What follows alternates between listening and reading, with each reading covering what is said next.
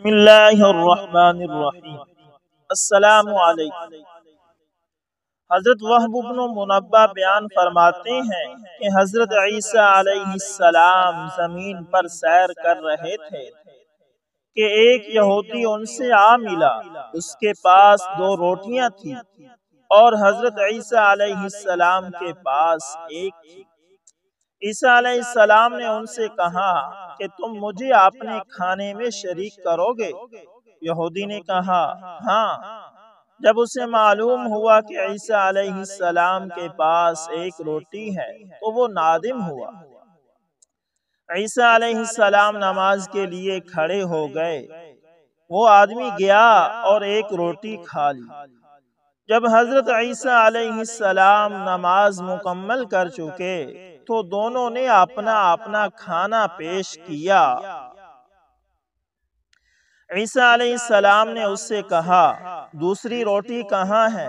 وہ بولا، ایک ہی تھی۔ عیسیٰ علیہ السلام نے ایک روٹی کھائی اور ان کے ساتھی نے بھی ایک کھائی۔ پھر چل پڑے اور ایک درخت تک پہنچ گئے۔ عیسیٰ علیہ السلام نے فرمایا اگر ہم صبح تک اس درخت کے نیچے قیام کر لیں تو کیسا رہے گا؟ وہ بولا، ٹھیک ہے۔ چنانچہ انہوں نے وہاں رات گزاری اور صبح کے وقت وہاں سے چل پڑے۔ پھر ایک اندھے سے ملاقات ہوئی۔ تو عیسیٰ علیہ السلام نے فرمایا، اگر میں تیرا علاج کر دوں اور اللہ تعالیٰ تیری بینائی واپس کر دے، تو کیا اللہ کا شکریہ بجا لائے گا؟ اس نے کہا جی ہاں۔ انہوں نے اس کی آنکھ کو چھوا اور اللہ تعالیٰ کے حضور دعا کی، تو اس کی بینائی واپس لوٹ آئی۔ اس پر عیسیٰ علیہ السلام نے یہودی سے کہا، اس ذات کی قسم جس نے اسے بینا کو، اس نابینا کو بینا بنا کر دکھلایا۔ کیا تیرے پاس ایک اور روٹی نہیں تھی؟ وہ بولا، صرف ایک روٹی تھی۔ عیسیٰ علیہ السلام خاموش ہو گئے، پھر ایک جگہ سے گزرے جہاں ہرن چر رہے تھے۔ عیسیٰ علیہ السلام نے ایک ہرن کو بلایا اور اسے ذبح کر دیا۔ پھر دونوں نے مل کر کھایا۔ عیسیٰ علیہ السلام نے ہرن سے کہا، اللہ کے حکم سے کھڑے ہو جاؤ۔ تو وہ کھڑا ہو گیا۔ آدمی بولا سبحان اللہ. عیسیٰ علیہ السلام نے فرمایا اور ذات کی قسم جس نے تجھے یہ نشانی دکھائی ہے تیسری روٹی کس نے کھائی تھی؟ وہ بولا روٹی ایک ہی تھی وہ دونوں چلنے لگے اور ایک بہت بڑی نہر کے پاس سے گزرے۔ عیسیٰ علیہ السلام نے اس کے ہاتھ کو پکڑا اور پانی کے اوپر چلنا شروع کر دیا۔ یہاں تک کہ اسے عبور کر گئے۔ آدمی بولا سبحان اللہ۔ عیسیٰ علیہ السلام نے فرمایا اس ذات کی قسم جس نے تجھے یہ معجزہ دکھایا ہے۔ تیسری روٹی والا کون ہے؟ اس نے کہا اللہ کی قسم۔ روٹی ایک ہی تھی چنانچہ وہ وہاں سے نکلے اور ایک بہت بڑی مگر ویران بستی میں آ گئے۔ اچانک ان کے قریب تین بڑے بڑے سونے کے پتھر تھے۔ عیسیٰ علیہ السلام نے فرمایا، ایک پتھر میرا، ایک تیرا اور ایک تیسری روٹی کھانے والے کا۔ وہ آدمی بولا، تیسری روٹی میں نے ہی کھائی تھی، جبکہ آپ نماز پڑھ رہے تھے۔ عیسیٰ علیہ السلام نے فرمایا، یہ تینوں پتھر تمہارے ہیں اور اس سے جدا ہو گئے۔ وہ آدمی ان پتھروں کے پاس ٹھہر گیا۔ اس کے پاس کوئی سواری نہیں تھی جس پر انہیں لاد لیتا۔ وہاں سے تین آدمی گزرے۔ انہوں نے اسے قتل کر دیا اور سونا قبضے میں لے لیا۔ دو آدمیوں نے ایک سے کہا، بستی میں جاؤ اور ہمارے لیے کھانا لے کر آؤ۔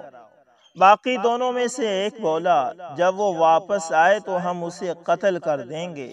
اور سونا آپس میں بانٹ لیں گے۔ دوسرے نے کہا، ٹھیک ہے، جو کھانا لینے گیا تھا، اس نے سوچا کہ میں کھانے میں زہر ملا دوں گا اور انہیں قتل کر کے اکیلا ہی سارا سونا لے جاؤں گا۔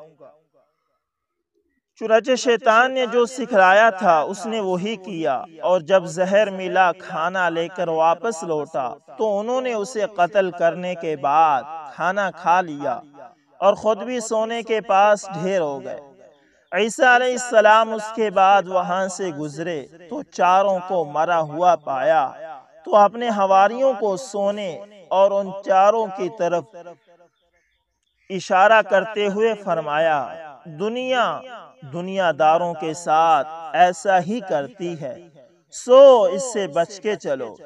اسی لیے نبی کریم صلی اللہ علیہ وسلم نے ہمیں دنیا سے دل لگانے سے ڈرایا ہے اور فرمایا ہے، فَوَاللَّهِ مَا الْفَقْرُ أَخْشَى عَلَيْكُمْ وَلَكِنِّي أَخْشَى أَن تُبْسَتَ الدُّنْيَا عَلَيْكُمْ كما بسطت على من كان قبلكم فتنافسوا فيها كما تنافسوها فتهلككم كما اهلكتهم سو اللہ کی قسم، مجھے تمہاری بابت فقر و فاقہ کا خوف نہیں، لیکن میں اس بات سے ڈرتا ہوں کہ دنیا تم پر اس طرح کشادہ کر دی جائے گی، جس طرح تم سے پہلے لوگوں پر کشادہ کر دی گئی۔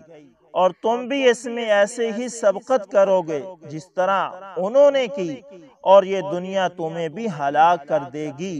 جس طرح انہیں ہلاک کیا۔ سیدنا ابو سعید خدری رضی اللہ تعالی عنہ فرماتے ہیں کہ رسول اللہ صلی اللہ علیہ وسلم برسر ممبر تشریف فرما ہوئے اور ہم آپ صلی اللہ علیہ وسلم کے ارد گرد بیٹھ گئے۔ تو آپ صلی اللہ علیہ وسلم نے فرمایا ان مما اخاف علیکم من بعدی ما یفتح علیکم من زہرت الدنیا وزینتها یقیناً اپنے بعد تمہارے متعلق جس چیز سے ڈرتا ہوں، وہ دنیا کی زیب و زینت ہے جو تم پر کھول دی جائے گی۔ نیز بیان فرماتے ہیں کہ رسول اللہ صلی اللہ علیہ وسلم نے فرمایا ان الدنیا حلوت خضیرت خضرت وان اللہ تعالی مستخلفکم فیہا فینظر کیف تعملون، فاتقوا الدنیا واتقوا النساء. بے شک دنیا میٹھی اور سرسبز ہے، اور بلا شبہ اللہ تعالیٰ تمہیں اس میں یہ دیکھنے کے لیے جان نشین بنانے والے ہیں۔ کہ تم کیسے عمل کرتے ہو؟ سو دنیا سے بچ جاؤ اور عورتوں سے بچ جاؤ۔ تو دوستو امید کرتا ہوں ویڈیو اچھی لگی ہوگی۔ پسند آئے تو لائک شیئر کومنٹ لازمی کریں۔ اور اگر آپ ہمارے channel A S information T V پر نئے ہیں تو اس کو لازمی سبسکرائب کریں۔ اور مزید اس طرح کے اچھے اور مستند واقعات سننے کے لیے ہمارے اس چینل کے ساتھ جڑے رہیے۔ تو دوستو یہ کتاب اس واقعے کو ہم نے ایک کتاب سے لیا ہے جس کا نام ہے سچے واقعات۔